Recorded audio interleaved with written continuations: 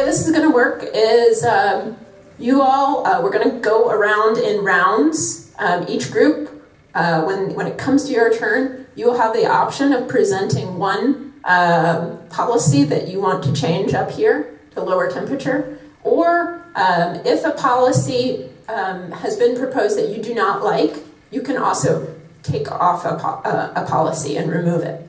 Um, so we're going to go around and around. I guess first off, I'll give you a couple minutes to just circle up as a group and first pick a spokesperson from your team um, and pick out a couple levers that you are that are a priority area for your group um, to see in this global climate plan, and that you all think you can you can realize.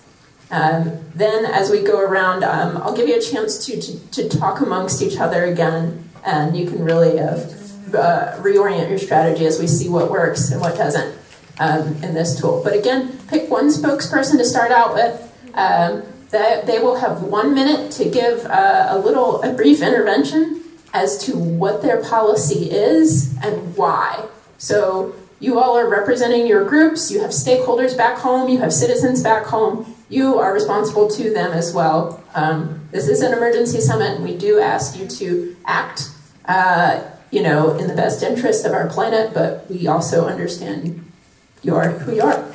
So, showing one demonstration of what we mean by testing in a model might make some sense. For example, one of you may suggest to increase transport, the energy efficiency of transport. That would be a bit more Priuses and fewer SUVs over the next 50 years around the whole world.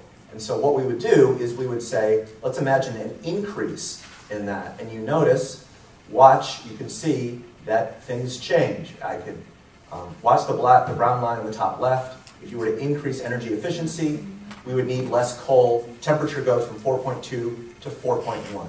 The point is, you make a suggestion, and then it makes some impact.